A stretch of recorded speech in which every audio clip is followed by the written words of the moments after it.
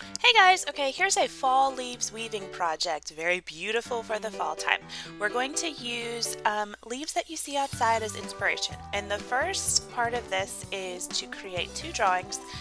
Both of them will be the same. So decide on a leaf that you like and create it really big, large, and in charge on your paper. I want it to fill up your entire paper.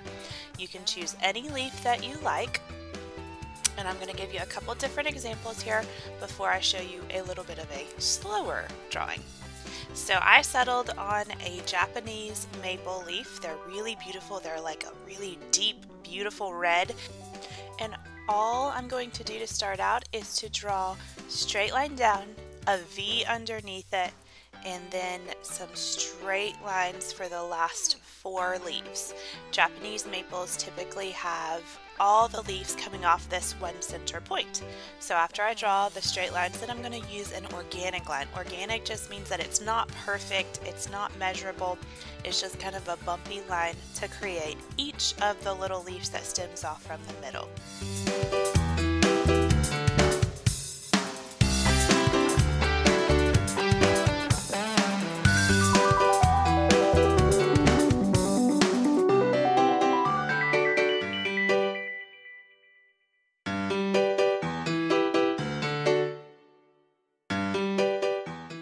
And when I'm happy with my leaf and I've added the stem, it fills up the paper, takes up a lot of space, then I'm going to trace all my lines with Sharpie.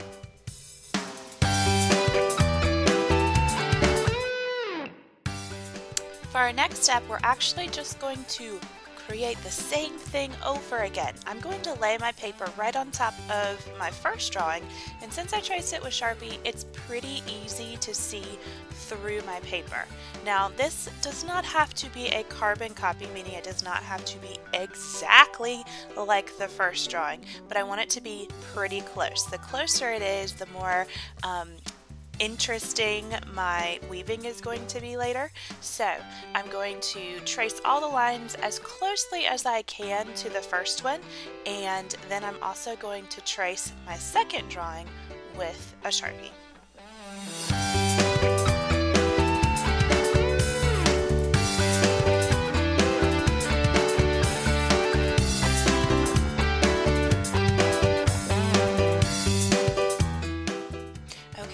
I have finished drawing, I'm going to paint both leaves. Japanese maples are a beautiful deep red, so I'm going to keep that in mind as I am painting this first one using some red tones.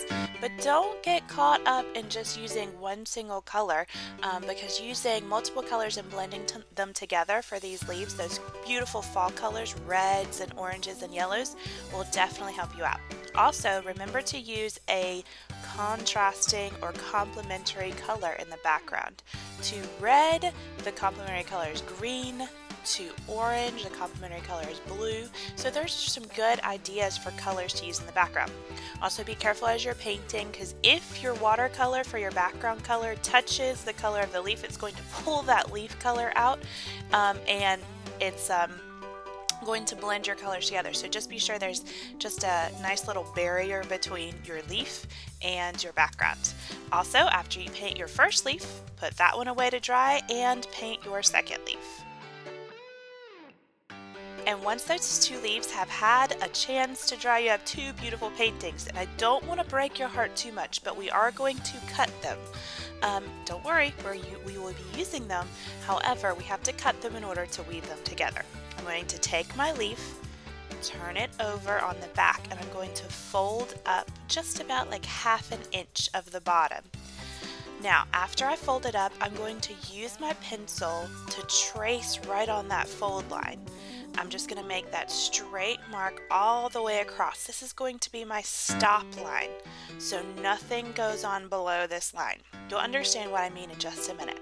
From that line, now I am going to create eight, about eight strips. So I'm going to draw a straight line, well, kind of straight, as straight as you possibly can. You can use a ruler for this if you'd like to. And I want to go all the way from my stop line to the edge of the paper. Okay, now once I have drawn these kind of straight lines, as straight as possible, I will have eight strips on my paper. I'm going to now put the stop line at the top of my paper and I literally write the word stop. This helps me to remember not to cut this part of my paper off. I'm going to use my scissors and I am going to cut maybe a little straighter than I actually drew them because I'm seeing how not straight they are. I'm going to cut those strips from the bottom of my paper to the stop line and when I get to the stop line I do what? Stop! Yeah, don't cut them off. Don't keep going to the edge of the paper. That stop line is there to help you to remember to stop.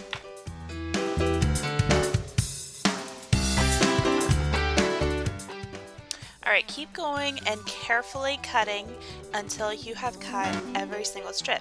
What you're doing right now is actually creating the loom that you are going to weave your other painting into.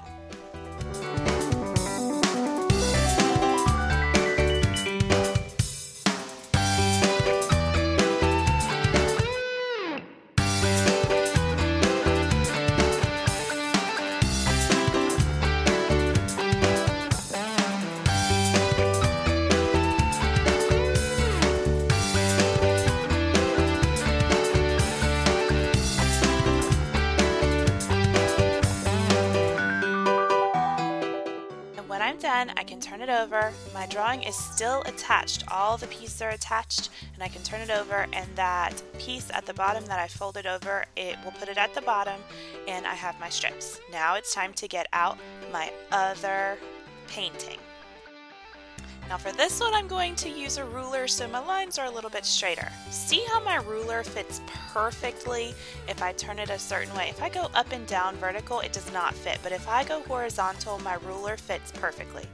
Flip your paper over to the back and put your ruler the way that it fits perfectly. There's nothing hanging off. I'm going to trace my ruler okay? And I have one strip now, and then I'm going to take my ruler and put it underneath that line and line it up, hold it down tight, and trace it again.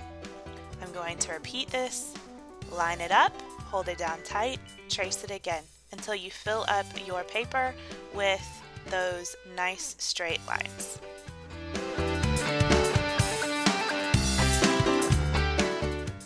You will end up with seven lines on your paper, so I'm actually going to number them. This will help me to keep them all in order. Now I'm going to cut those strips. And I know this breaks your heart a little bit too, because cutting up a piece of uh, beautiful artwork is really hard, but it's okay. It's, I promise, it's going to be okay.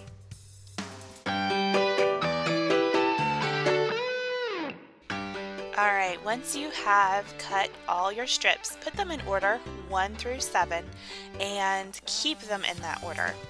Now I'm going to take strip number 7 first. It goes at the bottom of my paper. I'm going to weave it first. I can see that it lines up with my other painting also. Now we folded under part of that painting. So we're actually going to fold this strip. This is the only one we have to do this. Um, we're actually going to fold this strip in half to weave it into our artwork. You can cut it in half but you don't have to. You can just fold it in half to help you out. So I'm going to weave and remember the pattern for weaving is over under over under. I'm going to start out going under a strip Next, go over, under,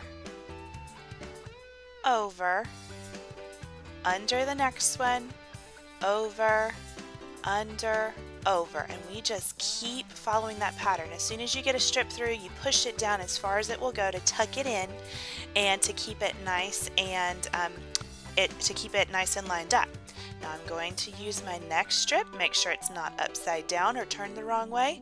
And I started going under first and I'm going to go over, under, over, under, over, under.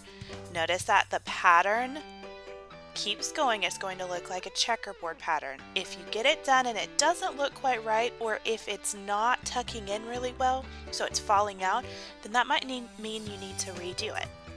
Okay, I started out going over last time, so now I go under, over, under, over, under, over, and tuck it down.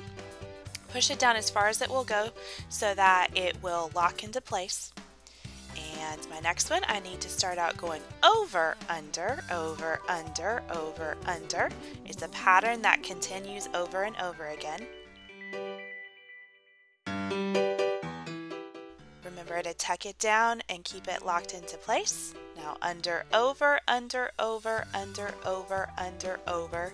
Oh, that one fell out just a little bit, so just go back and tuck it back in. It's a little easier for that to happen once you get closer to the top.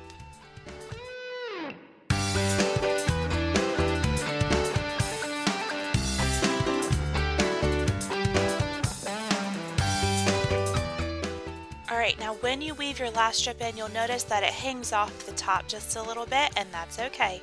Weave it in and then make sure everything is tucked down as far as it will go. So press your strips and push them down to the bottom so they're right next to each other. Make sure everything is tucked in on the edges and then use a glue stick to glue down all the tabs. This will hold everything in place and keep anything from falling out. Um, just you can lift up the edges of each of the strips and glue them together to the other piece of artwork. Okay, you have a beautiful piece of artwork and a beautiful weaving. I cannot wait to see what you create.